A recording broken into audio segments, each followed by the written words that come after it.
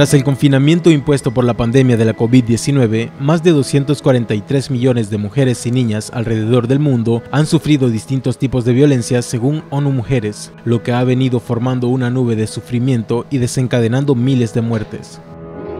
En República Dominicana ha llamado la atención el alto índice de violencia machista, donde las víctimas han sido sometidas a lo largo de su vida por su agresor, y desde el 2005 hasta la fecha, 2.828 mujeres han sido asesinadas, según el Ministerio de la Mujer de ese país.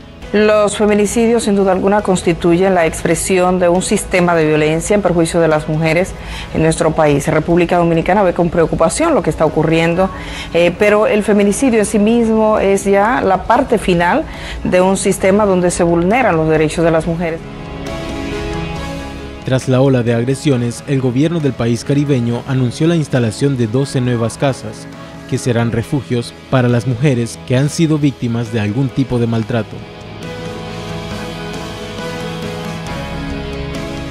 Además, se promoverá un anteproyecto de ley que pretende radicalizar las medidas legales para lograr una reducción significativa de la violencia contra la mujer en esa nación.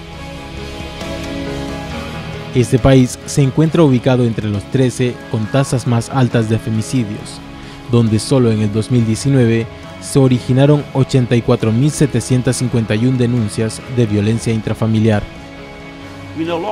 Sabemos que los confinamientos y las cuarentenas son esenciales para reducir la COVID-19, pero las mujeres pueden verse atrapadas con parejas abusivas.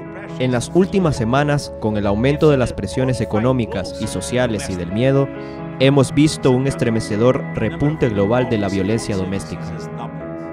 Además, se registraron en el primer semestre del 2020 más de 27.000 denuncias que podrían variar negativamente debido al encierro que se impuso por la pandemia del coronavirus.